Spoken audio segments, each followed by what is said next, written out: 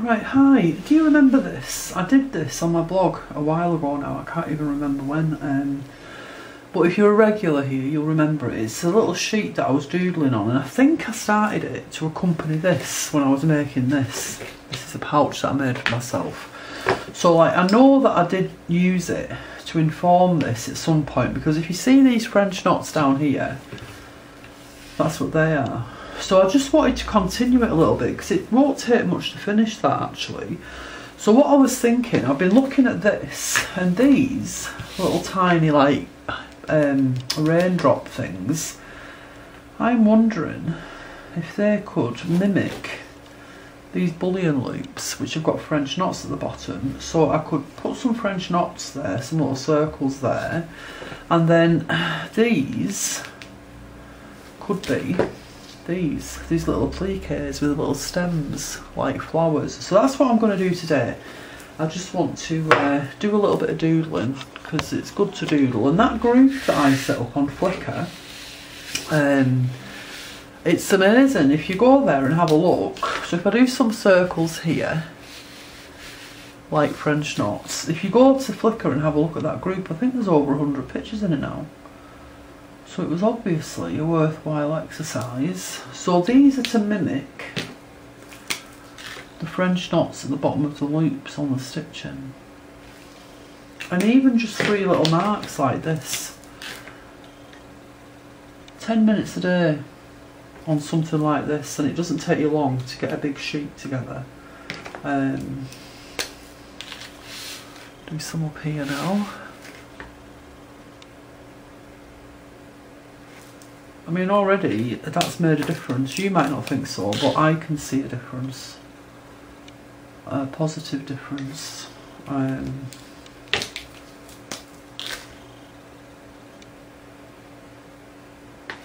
there.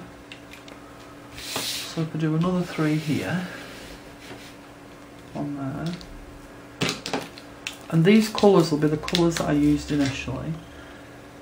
So it'll all live wonderfully together in theory.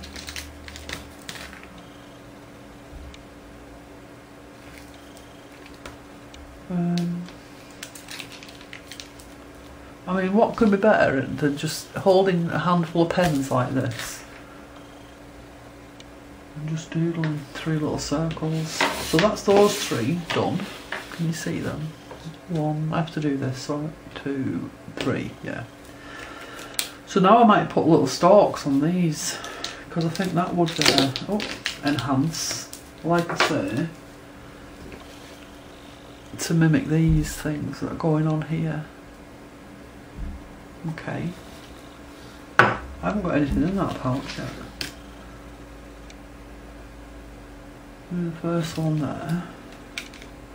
And then add a little leaf, maybe. So very simple, solid uh, leaf uh, oh, there, and another one there. Already progress, progress. Do one on this one. I have to put my finger on so I'll look at the camera to see if you can see it. Because trust me, there's plenty of times when I can't find the camera. I'll really like that. I think that's really added something to this.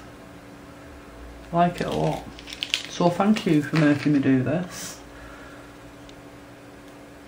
For being the prompt that made me come back to this.